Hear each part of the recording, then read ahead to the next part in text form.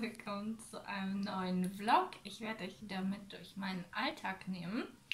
Wir waren heute schon äh, fleißig. Wir waren nämlich im Krankenhaus für die nächste Untersuchung. Ich bin ja jetzt mittlerweile in der 31. Schwangerschaftswoche.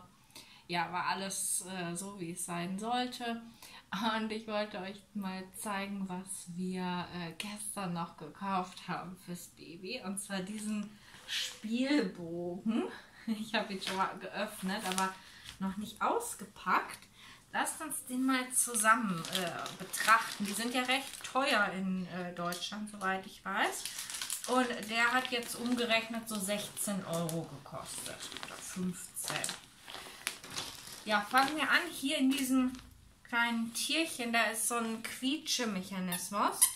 Ja, das ist schon. Und hier haben wir noch zwei äh, ja, Rasseln. Einmal ein Nilpferd und ein Nashorn. Ist ganz süß. Bin mir gar nicht sicher, welche Marke das hat, aber das können wir ja mal schauen. Hm, ja, ich würde sagen, steht nicht drauf. Dann steht es nicht in Englisch drauf. Ui. Ja, das haben wir wieder zufällig gefunden. Wir finden irgendwie alle unsere Babyprodukte zufällig äh, in äh, einer unserer Apotheken. Also wir wollten eigentlich was anderes kaufen. Ja, und dann hatten sie das da. Das war natürlich perfekt. Wir waren vorher noch in einer anderen Apotheke und wollten äh, da was kaufen, hatten sie auch nicht. Aber da hatten sie Wickelunterlagen. Die haben wir dann natürlich auch genommen.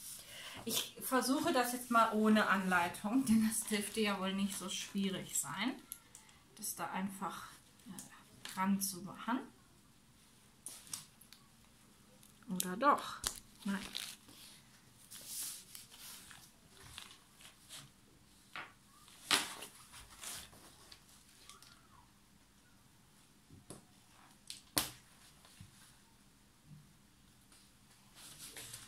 Ich gucke doch lieber noch mal in die Anleitung. Ach man, oh je. Okay. Man brauchte doch dieses Ding. Ja, kein Problem. Ich dachte, das wäre nur zum Halten gewesen.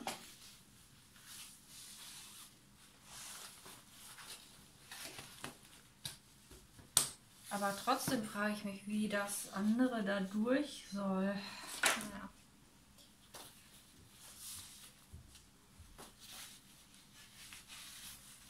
Das ist doch drüber.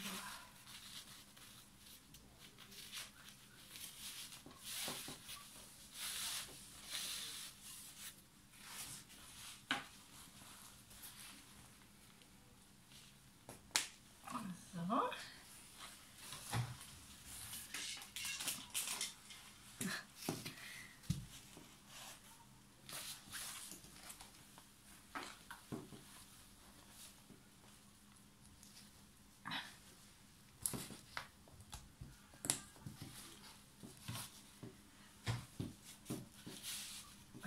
So. so sieht es doch schöner aus. Und jetzt kann man hier mit den Haken die Tiere dran machen. Ist auch ein ganz schönes Material, also nicht zu hart. Kann man machen und von unten ist das so, äh, so ein Stoff.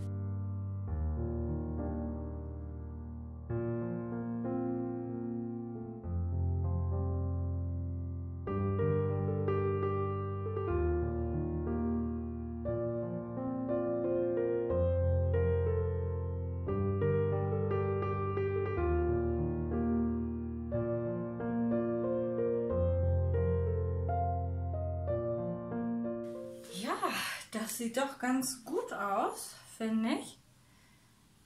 Ich frage mich halt nur, wie das Baby äh, an diese Rasseln kommen soll. Die sind, finde ich, ein bisschen hoch. Aber ansonsten sehr schön.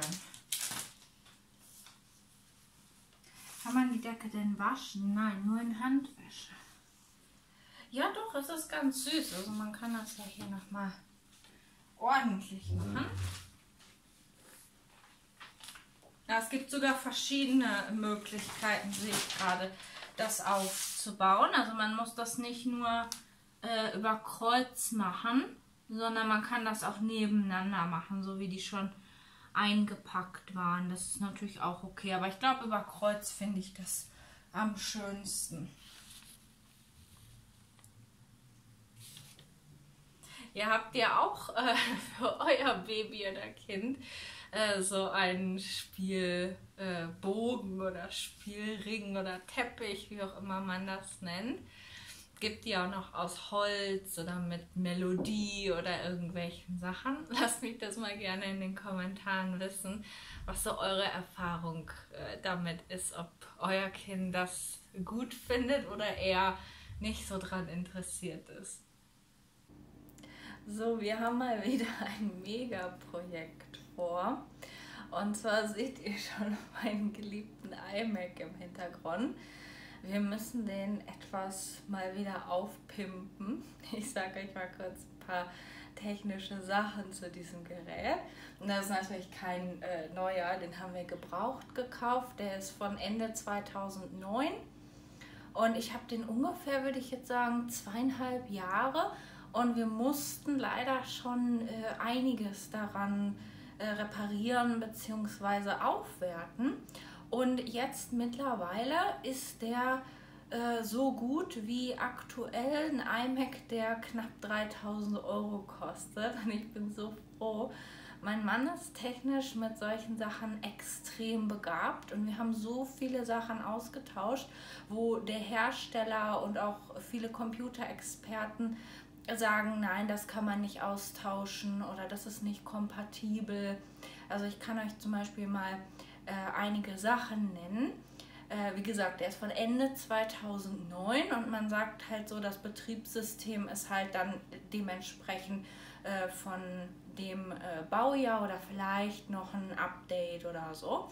Nein, meiner hat jetzt das aktuelle Betriebssystem von 2017 oder 18, heißt Sierra. Das konnten wir nämlich tatsächlich drauf äh, spielen. Und wir hatten vorher ähm, ein äh, HDD Hard Drive, das war ein Terabyte, aber das ist kaputt gegangen. Das mussten wir dann entsorgen und normalerweise muss man, da sollte man laut Hersteller genau das gleiche Modell wieder verwenden.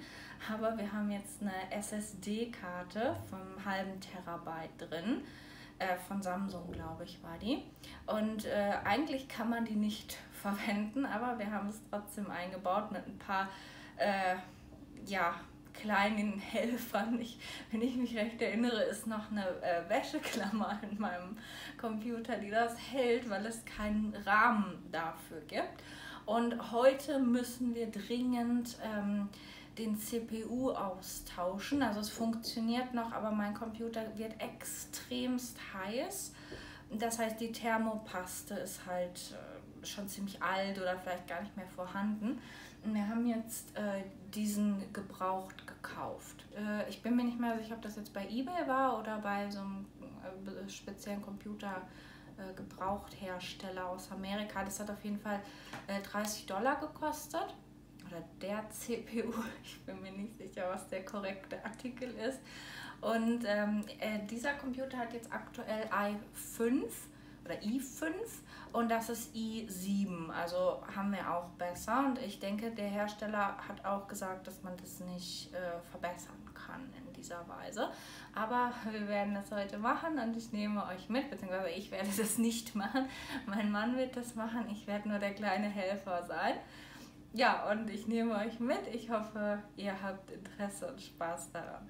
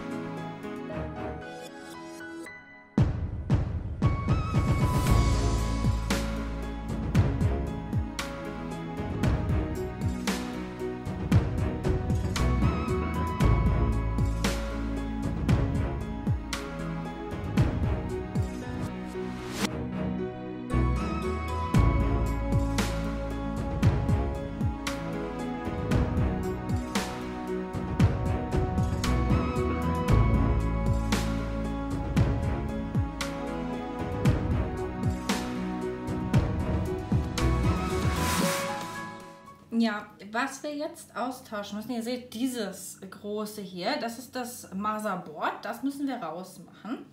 Und darunter befindet sich der CPU, den wir ähm, ja austauschen wollen. Noch eine andere Sache, und zwar das Teil mit der Wäscheklammer, das ist die Grafikkarte. Und auch hier hatten wir das Problem, dass die relativ äh, am Anfang, als ich den Computer gekauft hatte, kaputt gegangen ist. Und man schmeißt ja eigentlich dann sowas weg und kauft eine neue. Aber mein Mann hat recherchiert und hat rausgefunden, dass man die, jetzt wirklich haltet euch fest, das ist kein Witz, im Backofen backen kann. Und angeblich sollten dann die ja, beschädigten Komponenten wieder intakt sein. Wir dachten, okay, hört sich nicht schlecht an, wenn wir es eh wegschmeißen müssen, um eine neue zu kaufen, dann probieren wir es doch aus. Das heißt, wir haben die wirklich in den Backofen gelegt. Ich weiß nicht mehr, wie viel Grad das waren. Und äh, haben die halt nach der Anleitung gebacken und sie funktioniert wieder. sie funktioniert richtig gut. Ja, also das wird jetzt etwas dauern, dieses Motherboard zu entfernen, weil wir haben hier 16 kleine Kabel. Ihr seht schon, hier sind welche, hier unten sind noch welche, da ganz unten drin sind noch einige. Dann wollen wir das auch mal ein bisschen äh, entstauben. Das ist auch, glaube ich, mal notwendig. Ja, wir werden jetzt die äh, Kabel vorsichtig entfernen und nummerieren. Also bei der HDD-Karte war dieses Kabel, was wir jetzt nicht mehr benutzen, äh, der, das Kabel für den Temperatursensor. Und je nachdem, wie hoch die Temperatur war, hat halt dieses Teil, das ist halt der, der Ausgang für den Ventilator, äh, dieses Teil, also die HDD-Karte, gekühlt. Und die neue SSD-Karte benötigt äh, diesen extra Temperatursensor nicht mehr. Und es wird natürlich trotzdem dadurch gekühlt, aber durch die Standardeinstellungen äh, der Kühlung in dem Computer.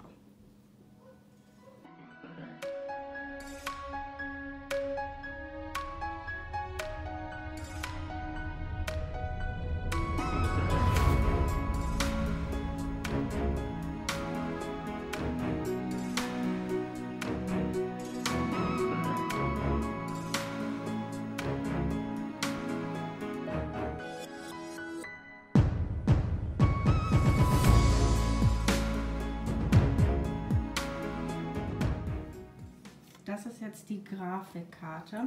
Wir haben übrigens dieses äh, Schraubenzieher-Set. Ihr seht, wie viele von denen da drin sind. Das braucht man tatsächlich, äh, ja, wenn man so ein Projekt angehen möchte. Wir haben jetzt für uns die Kabel markiert, dass wir wissen, wo die später wieder hinkommen. Und wir werden jetzt anfangen, das zu entfernen, das äh, Motherboard. So, wir mussten den jetzt doch mal hinlegen, den Monitor, weil man da sehr schlecht äh, drankommt an die Schrauben.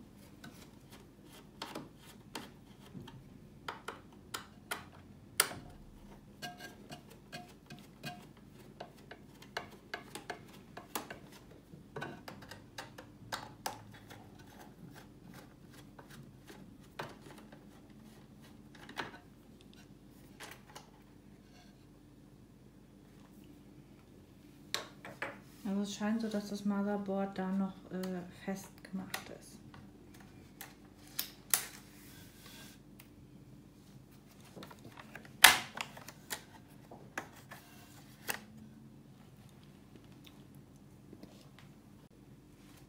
Also diese beiden äh, Chips, das war jetzt das RAM. Das haben wir von dort entfernt.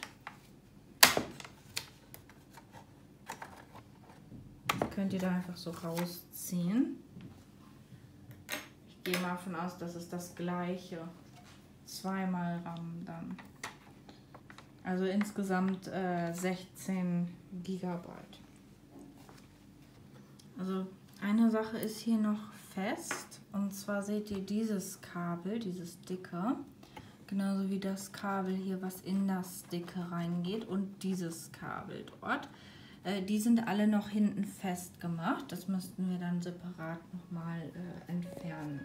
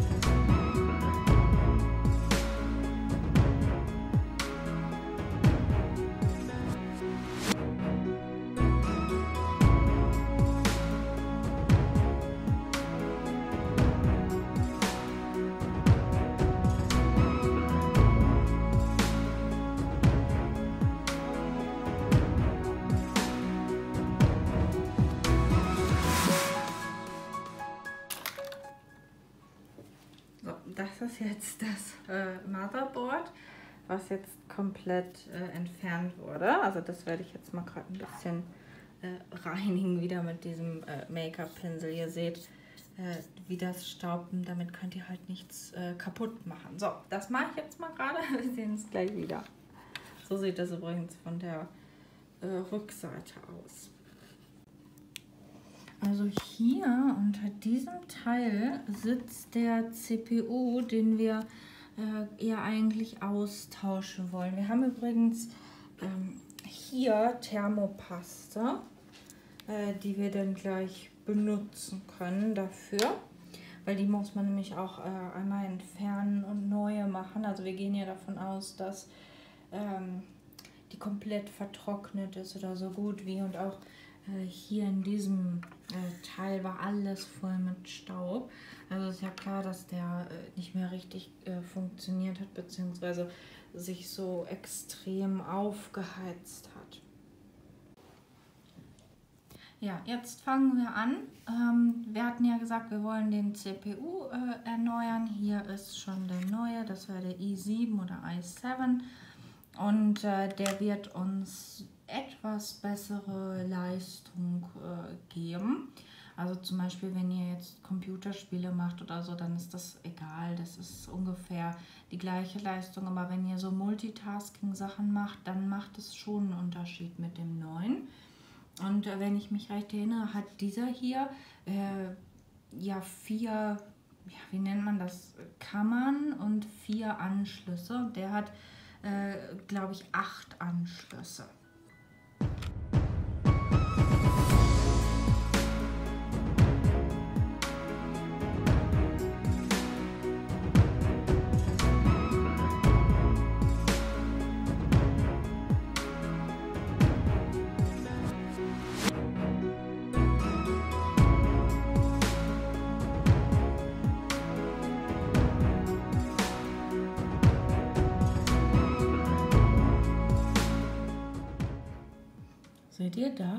Ist äh, diese Thermopaste und die sieht schon ziemlich trocken aus. Ich versuche mal gerade. Ja, obwohl die ist so leicht noch wie Knete. Also nicht ganz weggetrocknet. Aber natürlich nicht so, wie es sein sollte. Und da ist jetzt der CPU. Ihr seht, da ist auch diese Thermopaste. Da ist die natürlich schon wesentlich mehr äh, angekrustet. Also so sollte das nicht äh, aussehen. Das werden wir jetzt rausmachen und diese Paste entfernen. Dann äh, den neuen reinmachen und äh, natürlich die Thermopaste. Und das hier werden wir auch einmal komplett äh, entfernen. Also zum Entfernen der Thermopaste könnt ihr ein ganz normales äh, Babyfeuchttuch zum Beispiel nehmen. Damit kann man die recht gut äh, entfernen. Also vielleicht braucht ihr mehrere äh, Tücher, aber das reinigt die extrem gut von allen Flächen weg.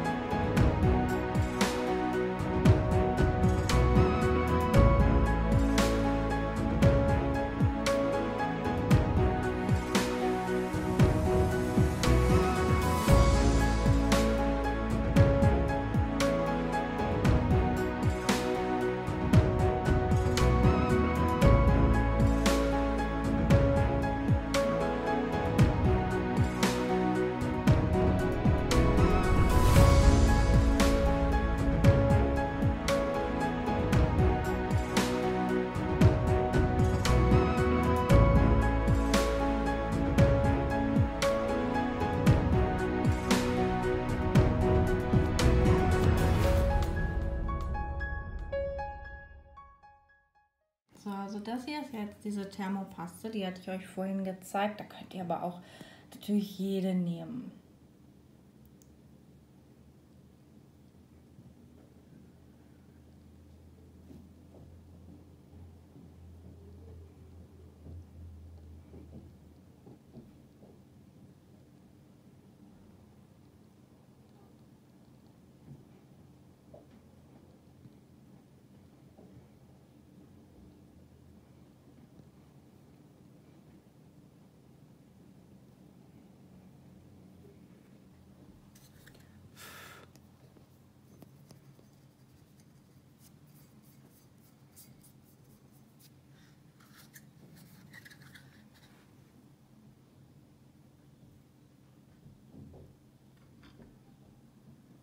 Jetzt können wir im Prinzip dieses Teil schon wieder äh, drauf machen.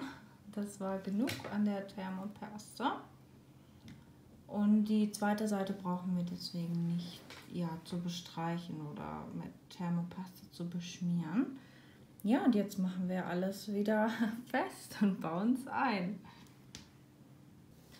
Ja, ihr habt ja gesehen, wir haben jetzt den CPU installiert bzw. angebracht mit der Thermopaste. Und jetzt müssen wir natürlich alle Sachen wieder dort reinbringen und die Kabel anschließen. Das wird wieder einige Zeit dauern, weil wir müssen halt sicherstellen, dass wir das richtige Kabel machen. Wir müssen die Markierungen entfernen. Aber ich zeige euch dann gleich, wie es aussieht, wenn wir die Sachen wieder an ihren ursprünglichen Platz gebracht haben. So, wir haben es jetzt ungefähr drei Stunden später, vielleicht auch fast vier. Jetzt kommt der Moment der Wahrheit. Ich habe extrem Angst, dass es nicht geht oder dass irgendwas gelöscht ist. Ja, wir haben auch noch nicht den, die Scheibe drauf gemacht, falls irgendwie was neu gemacht werden muss. Ich mache den mal an. Zumindest macht er Geräusche. Das dauert immer ein bisschen. Also. Okay, Bildschirm ist aber da.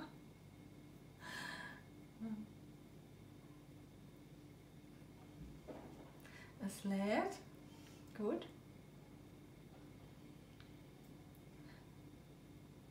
Hauptsache es lädt weiter. Keyboard an.